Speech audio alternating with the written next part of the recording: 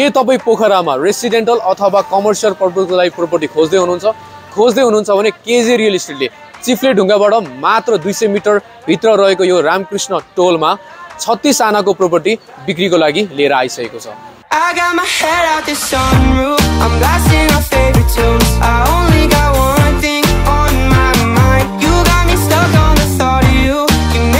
अगाडिको फ्रन्टेजको कुरा गर्नु पर्दाखेरि सडतिस हात रहेको छ र यसको पछाडिको कुरा गर्नु पर्दाखेरि एक सय तिस हात रहेको छ.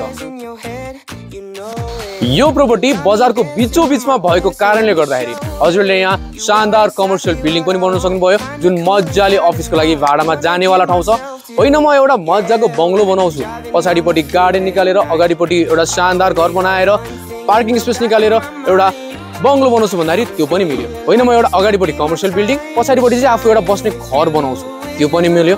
किनभने जग्गा एकदमै लामो छ हजुरले जुनै प्रोजेक्टको लागि पनि एकदमै सुइटेबल हुने। तपाईँले हेरि नै हाल्नुभयो बाटो पनि तपाईँले हेरि नै हाल्नुभयो अब यो जग्गा यदि हजुरहरूलाई मन परेको छ भने केजे रियल इस्टेटलाई आजै सम्पर्क गर्नुहोला।